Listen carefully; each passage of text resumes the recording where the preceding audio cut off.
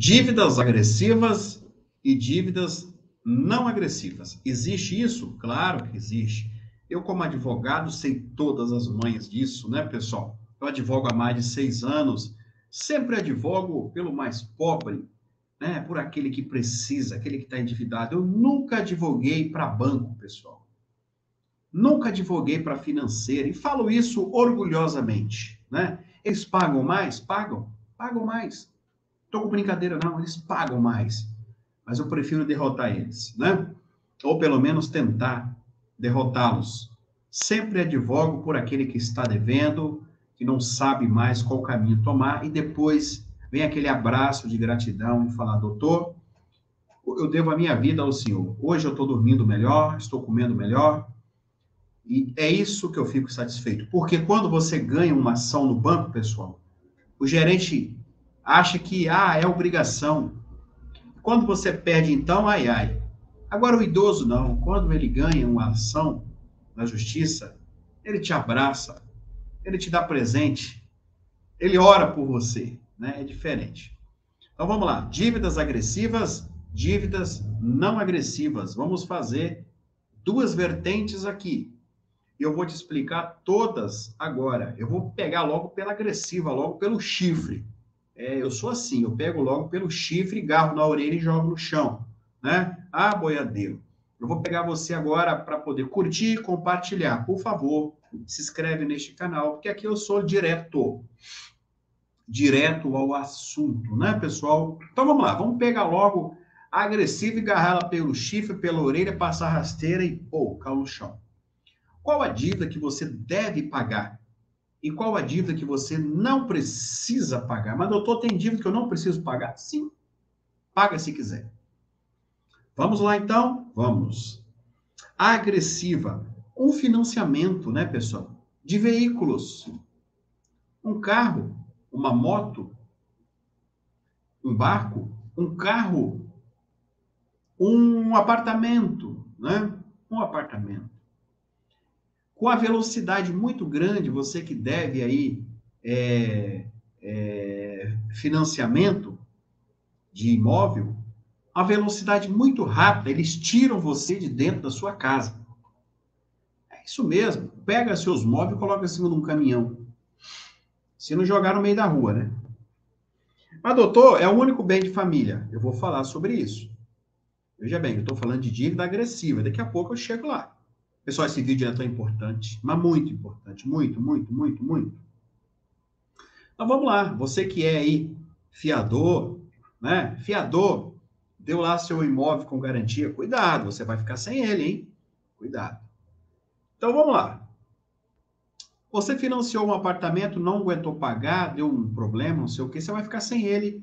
Você vai ter que ir para casa de amigo, não vai ter jeito. Não tem esse negócio de imóvel, de família, nada.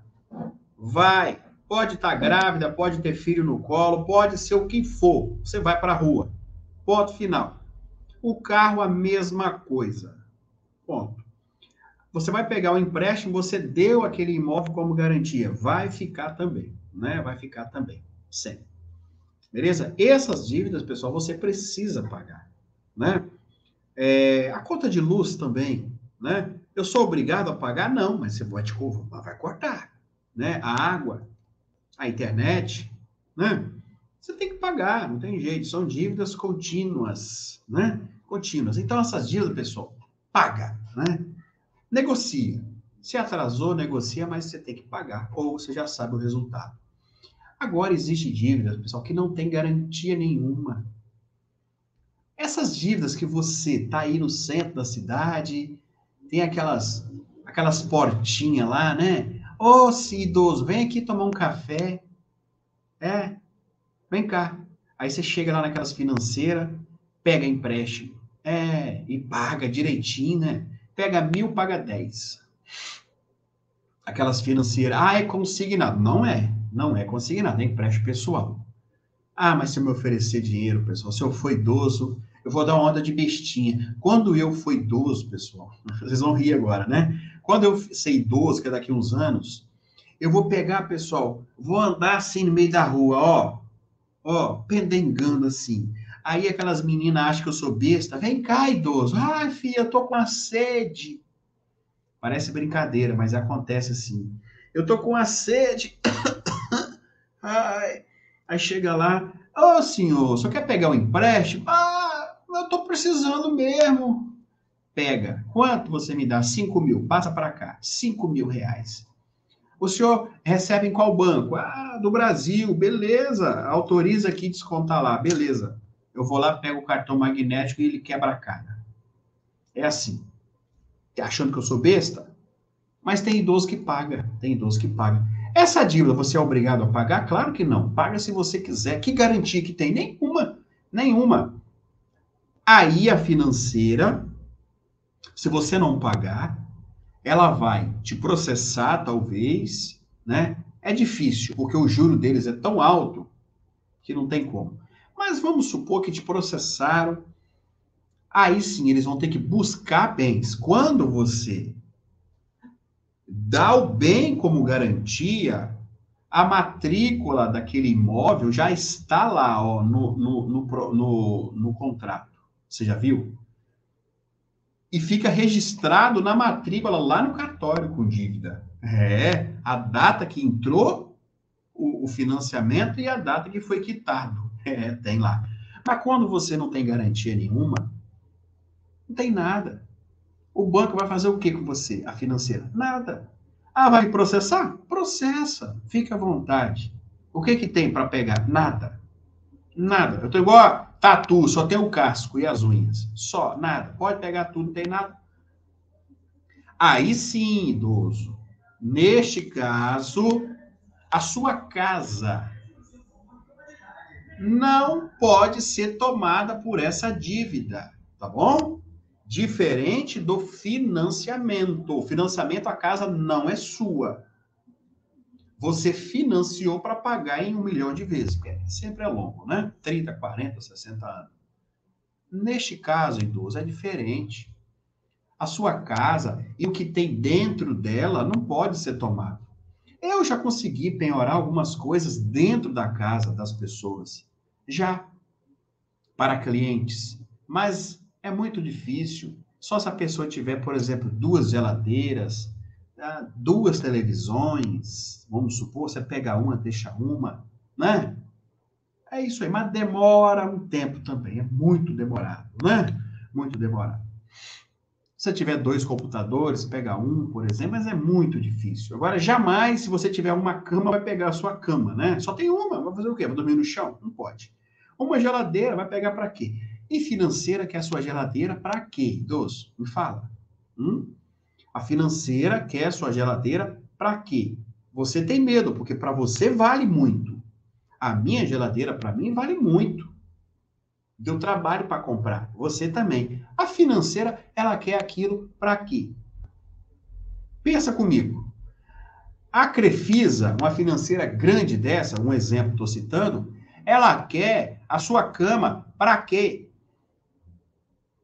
O banco que você deve quer os seus móveis para quê, meu filho? Quer para nada. Ele quer dinheiro, quer que você quer te ameaçar para você assumir. Então, dívida, pessoal, de cartão de crédito, cheque, empréstimo pessoal, você paga se você quiser. Se você não quiser, você não paga. Ah, doutor, mas já desconta direto no meu pagamento. Pega o cartão magnético e não desconta nada paga quando você puder. Eu já ensinei vocês aqui a pagar dívida de 30 mil com 500 reais. É possível pagar? É. É possível pagar dívida. Depois que você começou a me assistir, você pagou também. Tem certeza que pagou. Você que me segue, a Maria Coutinho pagou, né, dona Maria Coutinho? Que eu sei que a senhora pagou, né? Eu sei, muita gente aí pagou com 200, 300 reais. É só saber fazer a coisa. Agora, o idoso tem medo de ir preso. O idoso tem medo de ir preso, porque está devendo. Oh, meu Deus do céu, né? Não, idoso, você não vai preso, pessoal. Eles colocam terror em você. Teve um idoso, pessoal, não esqueça dele, né? Ele chegou aqui no escritório chorando que o, é, o, a financeira falou que ia tomar a casa dele. Assim, mas como assim tomar sua casa, idoso? O senhor tem quantas casas? Tem uma só. Não é, mas como que ela vai tomar sua casa? Ai, falou que vai tomar. Fui ver, a casa era até da filha, ele que morava lá. Nem dele era a casa. E, e, tinha recibo de compra e venda só, não tinha não escritura. Como que vai tomar algo que tem recibo de compra e venda? Ô, Jesus amado, né? Difícil. Mas é isso que eu estou querendo te dizer, é, eles colocam medo em você para você ficar com medo. Ah, o cartão, devo pagar ou não? Não faz, não paga. Unifiquei a minha dívida, a maior burrice que você fez na sua vida. Unificar cartão, cheque, empréstimo pessoal. Nunca faça isso. Você não consegue pagar mais nunca. E se você unificou, chegou agora, unificou, não paga. Simplesmente não paga. Mas, doutor, desconta direto. Mentira, desconta nada. Você que não soube fazer, tá bom? É só pegar o seu cartãozinho magnético, tranquilo, deixa o pau quebrar para lá, né? Só desconto consignado, logo logo nós vamos acabar com isso também, o pau tá quebrando, tá bom? Se inscreve nesse canal, pessoal. Eu não tenho medo de banco, não tenho medo de financeira, aqui eu falo a verdade. Fala a verdade, que é difícil você encontrar um canal assim, né, com coragem, que defende o idoso. Fala a verdade, difícil, né? Vale a pena se inscrever, vale a pena ser membro, tá aqui fixo, ó, para você ser membro nos comentários, para você concorrer toda quinta-feira ao RMC de graça e também e também os pessoal aí do Facebook. Olha aqui o nome agora, Facebook, ó, estrela aqui, lê. Clicou, Deu mais estrela, leva RMC quinta-feira. Vale a pena, né? Beijo.